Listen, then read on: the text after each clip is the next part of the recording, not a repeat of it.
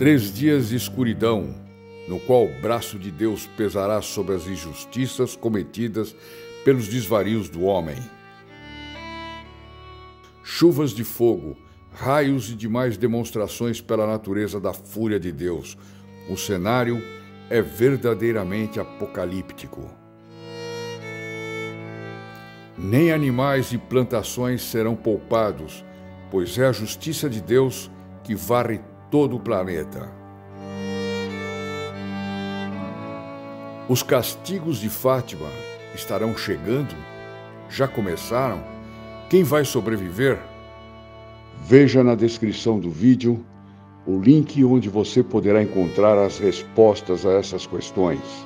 E se inscreva no nosso canal para não ser surpreendido.